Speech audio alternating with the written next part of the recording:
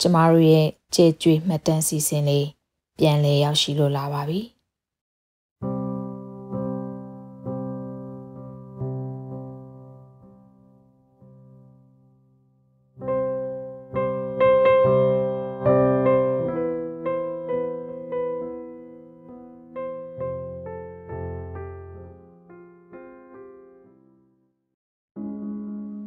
သူ့နာမည်ကချမ်းမြေ့စီသူကြီး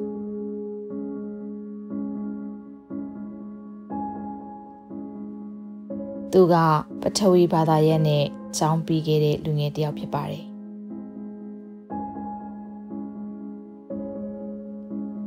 မိဘအပေါ်တည်တတ်ပြီးလိန်မာတဲ့လူငယ်တစ်ယောက်လည်းဖြစ်တယ်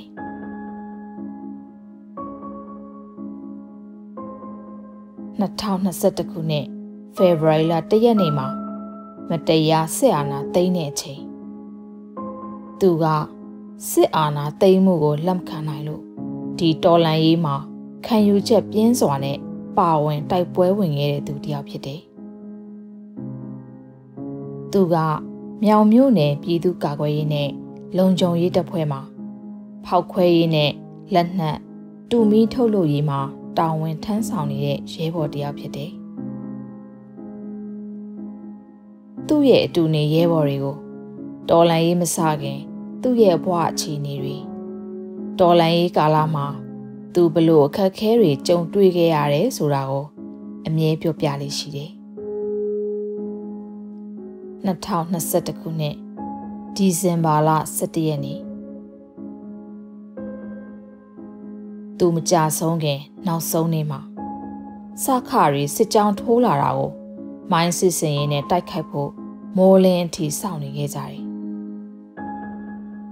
နောက်တနေ့မနက်မှာ စစ်ခွေးတွေရဲ့ပြစ်သက်တာကိုခံလိုက်ရပြီးတာဝန်ထမ်းဆောင်ရင်ကြာဆုံးနေရတယ်။သူကြာဆုံးချိန်မှာသူ့ရဲ့အသက်ဟာ28နှစ်ပဲရှိပါသေးတယ်။2021ခုနှစ်ဒီဇင်ဘာလ17ရက်နေ့မှာຫນွေဦးတော်လှန်ရေးအတွက်တိုက်ပွဲဝင်ရင်ကြာဆုံးခဲ့ရတယ်။ ကိုချမ်းမြေ့စီသူကြည်တို့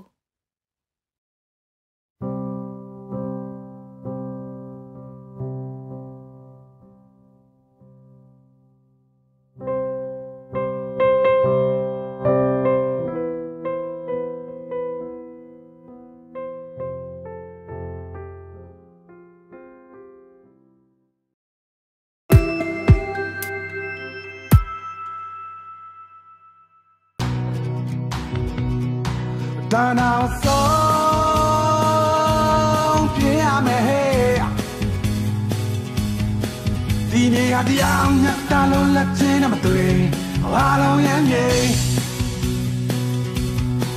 ဒါနာဆုံးပြရမယ်ဟဲ့ဒီနေရာတရားညတ်တလုံးလက်ချင်းနဲ့တွေ့အားလုံးရမ်းမြေ